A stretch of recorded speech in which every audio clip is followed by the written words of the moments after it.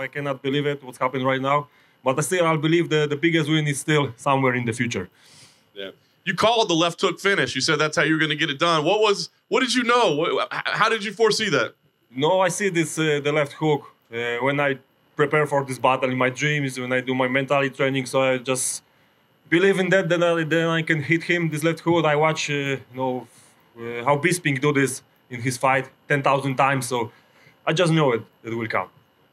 You're never a big talker, but after it, I saw you pointed down to your foot, you know, kind of in reference to the face off, of course, at the media day. So give me an idea. I mean, w- was this an emotional thing for you? I mean, was this personal for you?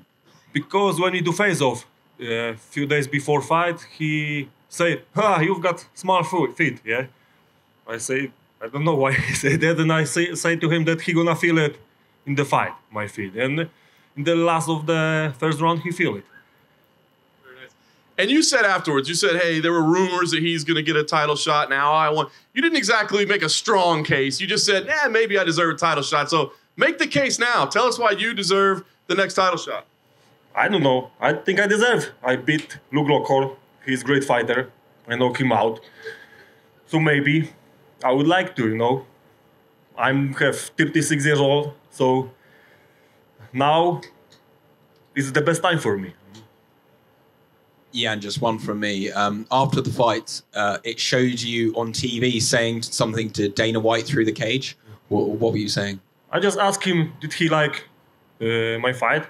And he said that he liked it, and uh, I just say him that I'm proud and I can be part of the UFC. Uh, That's it. And what about a turnaround? Obviously, a massive win for you tonight, but are you carrying, carrying any injuries from this? No, nothing. Like after the fight, some scratches, some something, but uh, nothing serious. Jan, uh, straight ahead. The uh, kick you landed right at the end of the first round really seemed to have Rockhold rattled. When you came out for the second, could you tell that that kick had still affected him? I think so. Yes, I see this in his eyes. He he go down. He was a little bit dizzy. Uh, my coach say, my coach says to me that he's hurt, but be careful. Put pressure on him. He's yours. So I just did it. And in that first round, did you see any tells with him that opened him up for that hook that you eventually landed in the second? Did you see indications of that opportunity in the first round? I'm look uh, this uh, this left hand all the time, but it will come in uh, in second.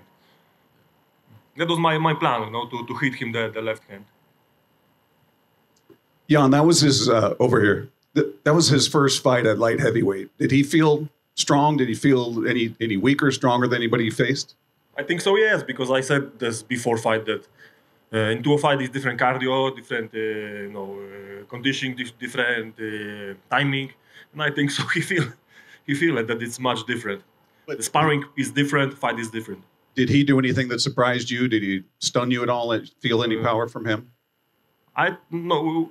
He did. He did it. That what we think he gonna exactly do. Yeah. Jan over here on your right.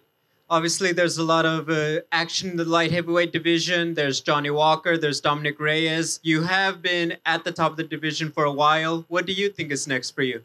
And I'm, I think I come back to the top of the division and someone from the top. Did you see the main event and what were your thoughts on the fight? How did you score it? Yeah, Jon Jones win the fight, but it was a great fight. Uh, you know, Thiago showed his best and it was nice to watch the fight.